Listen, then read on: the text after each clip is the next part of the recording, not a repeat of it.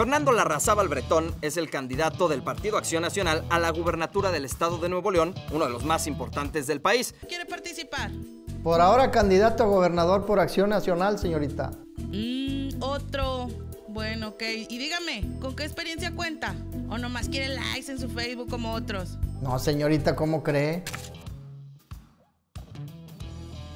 Larrazábal renació políticamente después de estar fuera de la escena desde el año 2015 y tras ser alcalde de San Nicolás y Monterrey y también diputado local y federal.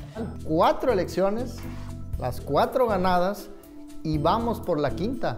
Ay, ay, ay, ay, ay.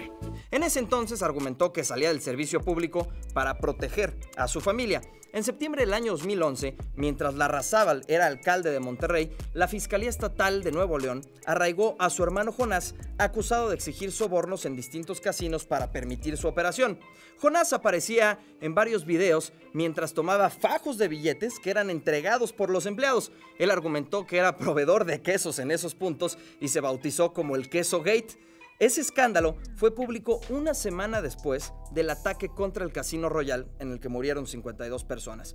Un par de meses después, en noviembre de 2011, Jonás quedó en libertad porque la parte acusadora le otorgó el perdón. Después cambió de residencia a Oaxaca y sufrió un accidente fatal y requiere asistencia médica durante 24 horas, según ha revelado Fernando Larrazábal, quien está de regreso en la política por la búsqueda de la gubernatura. Soy Claudio Chua Huerta y esto es Perfiles 2021 en Latinos.